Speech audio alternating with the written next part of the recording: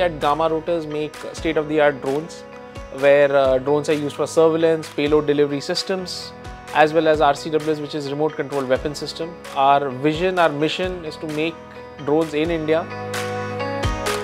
I'm extremely thankful to Phillips Additive and Markforged for introducing Mark II to us. We started with one printer with the uh, you know with the aim of prototyping, seeing, exploring new materials. But little did we know that you know we were on the path of setting up a farm where we expanded today to about 12 Mark IIs, one X7, one X7 on the way.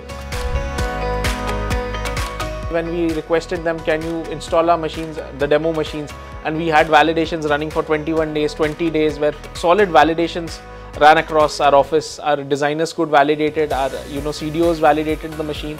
Not even only validation in the machine, the validation of the parts was something which kind of helped us you know uh, buy machines, invest more with Phillips. The reason we chose Markforged was uh, the introduction by Phillips Additive to the technology but beyond a point it was the dual uh, technology of printing where we were printing you know carbon X with carbon fiber the fusion 3D printing that is something which has helped us even further introduce more strength into our parts. So now we are using Markforged printers not only for rapid prototyping, we are doing rapid production. And why we are doing rapid production today is because it is cheaper in terms of the traditional mechanism of making and manufacturing things when I compare it to the aluminium parts or the titanium parts.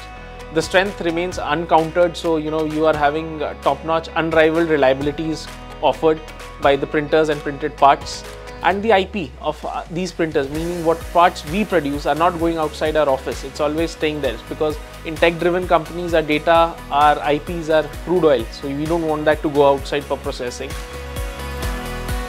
So we actually are thankful to Markforged and Phillips Additive that they've helped us kind of adapt this technology faster with their support that they've given us to understand how to even design a part in certain ways so that we are able to make it better and uh, the unrivaled reliabilities that these machines have offered in terms of what parts we produce out of them has actually made us stand out in our market as well.